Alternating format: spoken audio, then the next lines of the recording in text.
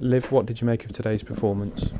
Um, I think it was uh, we had a really good start to the game. Uh, we were confident. We we played. I think the whole game, to be fair, we played really well. I think um, the goals were just silly mistakes, or we weren't happy with one of the goals. But uh, yeah, we just need to tidy up on that. But overall, I think there was spells where we, we did perform really well and we popped them really. So yeah, we're, we're quite happy with the performance, but just not the result.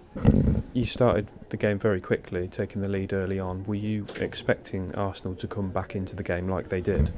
Um, Arsenal are always a good side. I think uh, when they get momentum, it's hard for us. But I think we, we were patient, we got compact, but I think yeah, just the goals like slipped through us a little bit, but we were expecting it. But it was that them moments where we had to stay compact and stay focused.